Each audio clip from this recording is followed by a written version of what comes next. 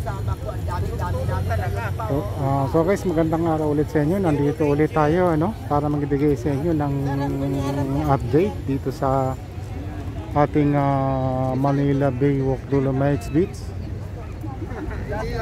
Ah, bagong lahat, huwag nating kalimutan. Kasi ang dami na. Ah, DJ channel. Ah, pa-support naman guys. Kasi na pa-click na lang ng ah, subscribe and ah, like and share and ah, dyan. ah, post na lang ng ating ah, bell button. Kayo No? hindi na ngayon. Pwede na kayong, pwede kayong magtampisaw kayo kung amoy, dagat na. para araw-araw ko kayong mabigyan ng ating update dito sa mga totoong nangyayari dito sa ating ah, Manila Dolomite Beach. No? Wala na. Ganun lang yun. Kaya nga, sir, ikaw, isa ka sa mga dahilan. Hindi lang kami. Kaya nga marami lang ka. ako. Marami Eto rin, oh.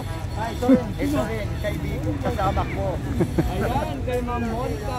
Magandang hapon, Ma'am Monica. Bigyan shout out sa'yo dyan. So, tuloy-tuloy lang tayo. Idol. John G, oh, mga kabayan. Ayan, si kayo sa Mamalu, Facebook, ah. Mamalu. Ayan, Sa Facebook ako naka-live. Zero. Ah, sa Facebook ka? Ah, okay. Mamaya pa ako sa Ah, YouTube. mamaya pa. Sige, mamaya pa. Mapa-shout out sa mga daddy ha. Na. Okay, okay. Thank you. Thank you, Daddy D. Ayan po ang ating kasamahan na vlogger, si ah, Daddy D TV. Ayan, no guys. So guys, papakita ko sa inyo yung ah, hindi ko alam kung ano yung ginawa nila doon. Ah, kulungan ba yun o ano ata yun yung parang aircon siya no? So ngayon titignan natin papunta tayo dito no? So dito medyo konti ang tao rito dahilan sa siyempre eh ah, gustong gusto talaga nila yung malapit sila dun sa tubig no kaya doon sila naka-standby. But anyway mayroon na rin ditong mga ano dito kung makikita ninyo. Ayan marami na rin. May mga ano sila dyan. Kahit na medyo mainit eh dan sila nakasalampak sila dyan sa buhanginan. So ayan ipapakita ko sa inyo kung ano itong ano na ito. Office siguro ito nila. So maganda ayun yung ano overpass Ganda. Parang bagong laya. oh ayan guys. So office na ito ano. Oh ayan. Oh ayan ito yung ano office nila. Sa nakita ko ah, may tao sa loob ano. Bagong bago di aircon siya. Pero sa ngayon siguro hindi nakabukas ang bintana ano. Ayan. so napakaganda so ito guys may mga lover dito oh nag ano So yan, ipapakita ko na sa inyo guys itong kanilang ano arak formation. Ito ay dito ito sa side malapit sa ano US Embassy. So ito ang nakikita ng ano dito napakaganda rin.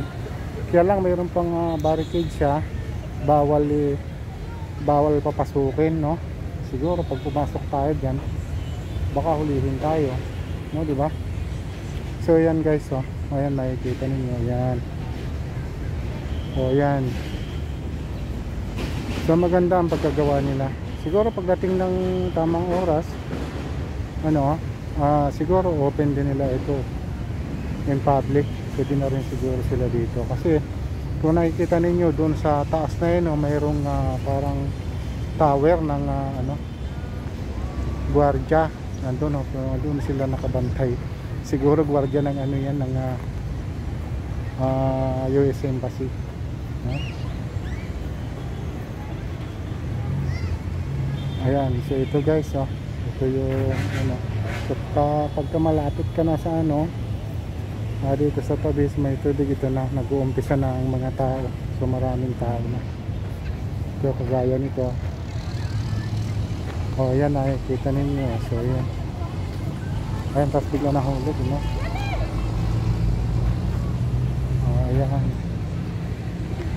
Oh, nagsasayawan na sila.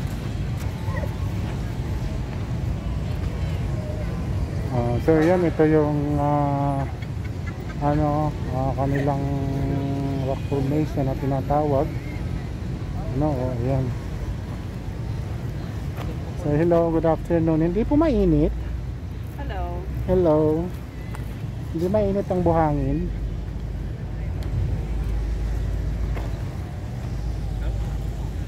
Oh ayan so hanggang dito. Ah, ayan yung manekita yung maraming ano doon.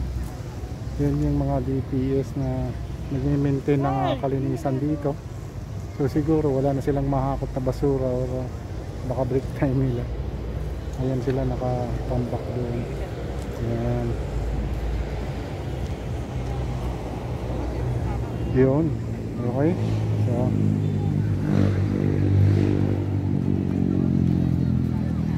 So bali ito guys ngayon ang ah, ano situation dito sa ating ah, Dolomite Beach sa ngayon no? hindi gaanong ah, mainit at napakasarap na masyal masyal no? Mga tao hindi nagsasawa. Ang dami. Ang dami nila buti na lang talagang napakalawak itong ating ah, ah, Dolomite right sand ano so kaya kahit ilang libong tao ang pumunta rito eh, talaga namang kayang kayang i-accommodate dito Ah, so guys, muli uh, pinapaalala ko sa inyo ang inyong suporta. Hinihingi ko ano. Subscribes naman, like and share at pa ah, post na lang lang ating ah, bell button para naman eh, araw-araw eh ma-update ko kayo sa mga totoong nangyayari dito sa ating Manila Bay Rehabilitation. Okay, muli guys. Ah, nagpapasalamat ako sa inyong suporta.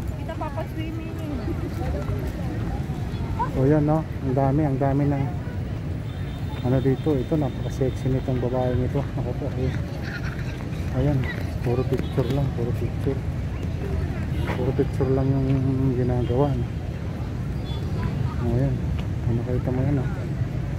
Ayan, ayoko lumapit yan, baka malasgrasya tayo. Ayan o, kasama si baby. Ayan. Wow, talaga palang kahit napakaliit na baby ay pwede nang ipasyal dito. No?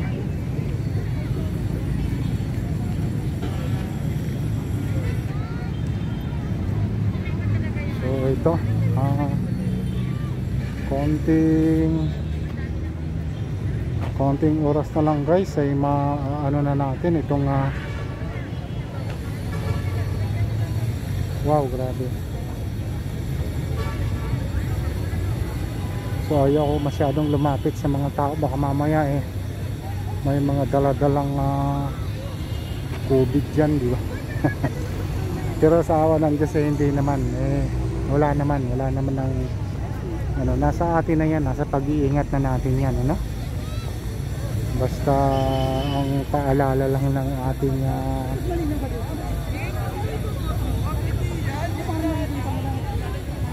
ating ah, mga opisyalis ng ating mga